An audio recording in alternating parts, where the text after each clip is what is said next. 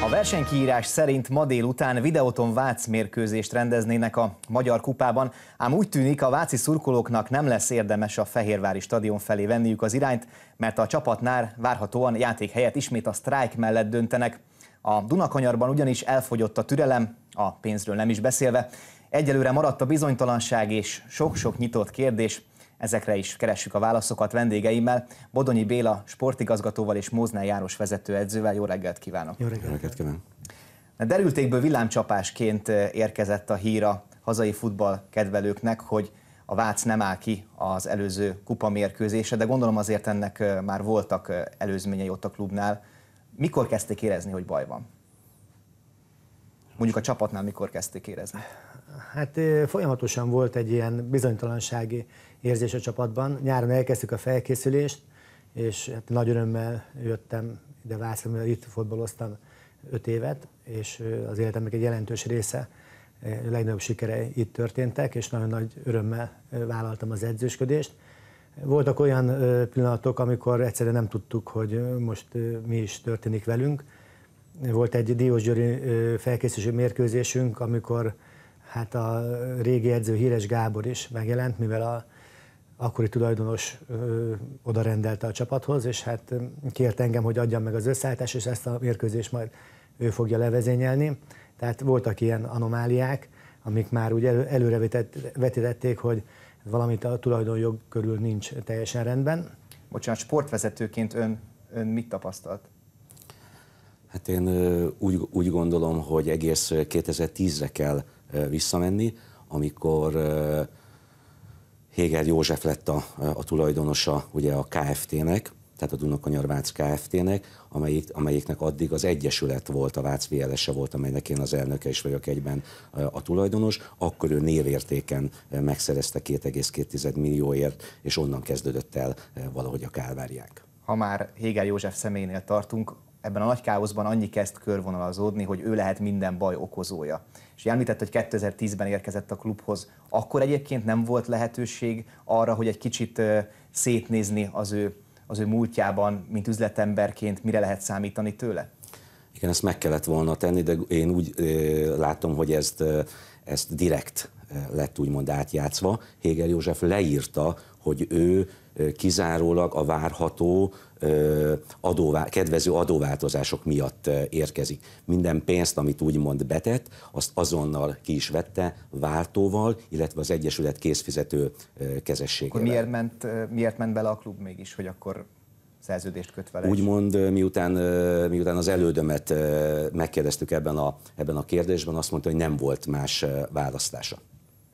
A csapatra visszatérve, Említette itt a bizonytalanságokat, és ugye most ide érkeztünk ehhez a kupa mérkőzéshez, de azért előtte volt egy téli felkészülés. Azt, azt hogyan végezte a gárda? Tehát lehetett érdemi szakmai munkát végezni? Igen, tehát beszélhetünk így a eseményekről, és szerintem el fog sikadni a lényeg.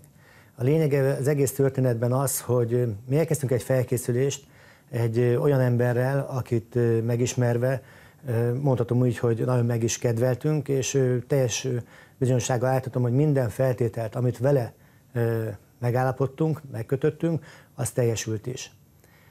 Ötödik helyen végeztük az őszi bajnokságban, legjobb nyolc közé jutottunk a kupában, és erre odaáll egy ember, és azt mondja, hogy ez az én sikerem, aki egy fillért nem adott ehhez az egész történethez, a háttérben lapult, és hirtelen előugrott, hogy már pedig mostantól én vagyok itt a tulajdonos, és azt csináltok ti, amit én mondok.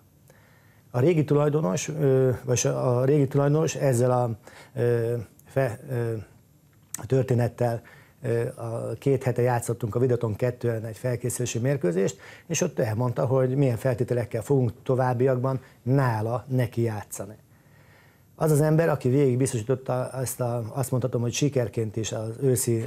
Nevesítsük őket, jó? Csak hogy hát jó, ne, kever, a, ne keveredjenek össze a nevek. Tehát a John Marshall biztosította a feltételeket a őszi szereplésünkhez, ehhez a sikerhez. A játékosok... Tehát a csapat azt tudta, hogy John Marshall a így tulajdonos. Van, így van, és, és korrektül, hogy... tehát amiben megállapodtunk vele, azokat mind teljesítette.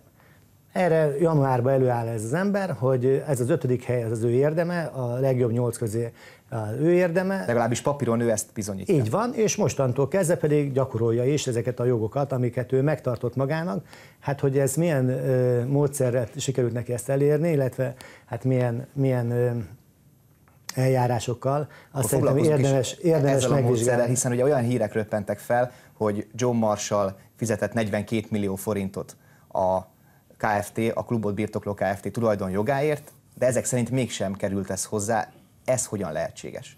Igen, hát a jogok az a Dunakanyar Vác Kft-ben voltak, amire végig a tárgyalások alapján egyértelműen a John Marshall ezt szerette volna megvenni. De Héger szerint a felajánlott összeg érszegért cserében nem tudta volna úgymond tisztán átadni ezt a, tehát a, a, a KFT. Érdekes módon a 2010 tehát az érkezése 2010 augusztus előtti papírokat nem is találják a, a Kft-nek, úgymond miután rákérdezett az angol, azt mondta, ez legyen a ti üzleti kockázatotok, de, mi, de ő mindenféleképpen szerette volna a családi kötődés miatt is a, a, a vácot megvenni, így azzal az ötletel állt elő Héger, hogy egy újonnan létrehozott IMV Kft-be aportálják át azokat a jogokat, amiket ugye ahhoz kellenek, hogy MB2-ben tudjon a John Marshall csapatot tudni maga mögött.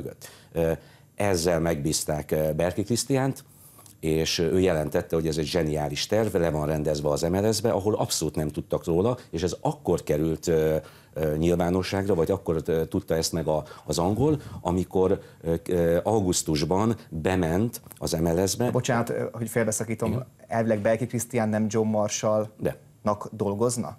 De, de. John Marshallnak dolgozna, igen. Értem, és akkor ennek ellenére John Marshall mégsem tudott arról, hogy tulajdonképpen nem történt meg az a fajta tranzakció, illetve az a fajta át... John Marshall az üzleti életben bevált aportot elfogadta, és ugye, mint munkatársaként Berki Krisztián bízta meg ezzel, hogy ezt boxolja le az MLS-be. Tehát miután ő jelentette, hogy rendben van a dolog, kifizette a 42,5 millió forintos vételárt John Marshall, viszont a jogokat ugye nem tudta átaportálni, mert a sportjog, mint ahogy az MLS-be elmondták, nem engedi meg ezt, a, ezt az aportot. Erre augusztusban jött rá, amikor hiába írtak egy együttműködési megállapodást, hogy már nem a Dunakanyar Vácé az, az MLS első 10 millió forintja, ugye a közvetítési jogokért, hanem a, a, a JMV, ugyanúgy megkapta Héger úr, és ezt szépen el is tette akkor önök most azt mondják, hogy tulajdonképpen itt annyi történt, hogy az angol tulajdonost kvázi itthon megvezették. Hát ez nagyon finoman fogalmazott.